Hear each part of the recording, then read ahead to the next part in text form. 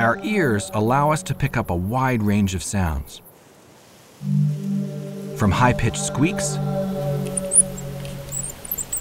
to low, long distance calls. Okay. The secret to their capability lies in the tiniest bones in our body. These are the three bones of our middle ear. All mammals, including people, have these three bones that sit inside the skull. And what they do is they form a little lever system that turns the vibration of air into sound that our nervous system can perceive. We, like all mammals, have three of these bones in our middle ear, but reptiles only have one. These two extra bones, the malleus and incus, enable us to amplify sounds, which is why our hearing is so much more sensitive than most reptiles. This presents us with a simple yet extraordinary puzzle. How did our acute sense of hearing, using three ear bones, emerge from our reptilian ancestors who used only one?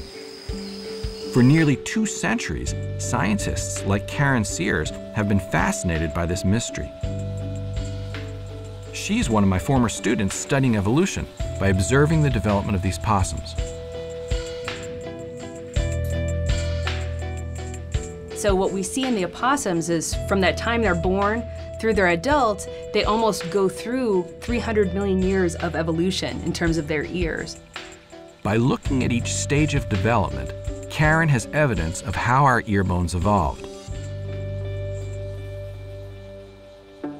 So what's really surprising is if you look at these early opossum embryos, what you see is essentially a reptilian style ear with one ear bone.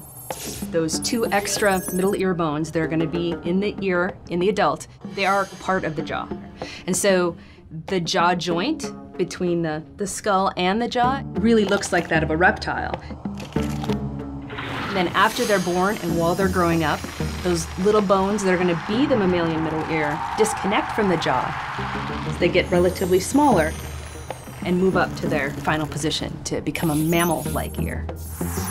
So if you have modern reptiles with one ear bone, you have modern mammals with three ear bones. I think what the embryos do is they almost provide a link between those two. So how do we know that the bones we use to hear with came from the bones reptiles used to eat with? Well, this amazing transition we see in development from jaw bones to ear bones, we also see in the fossil record. And we see it fossils from here in South Africa. And if we look at some of these primitive mammal-like reptiles, we see something in the lower jaw that's very different from us. Because what it has is one bone here which carries the teeth, and then there's a bunch of other bones that are sort of moderately sized that sit at the back of the jaw. They form the jaw joint itself. As you go forward in time, what you start to see are creatures like this, which have a larger bone that holds all the teeth, and ever smaller bones at the back of the jaw that form the jaw joint. When we get to animals that lived around 200 million years ago, more recent in the fossil record, what you find is that they've formed a completely new jaw joint. That's because the bone that holds the teeth had grown so large it made contact with the skull.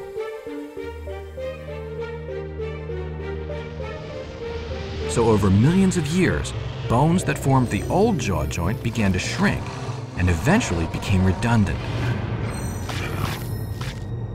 But instead of being lost altogether, these old bones were repurposed to take up a new role in the ear.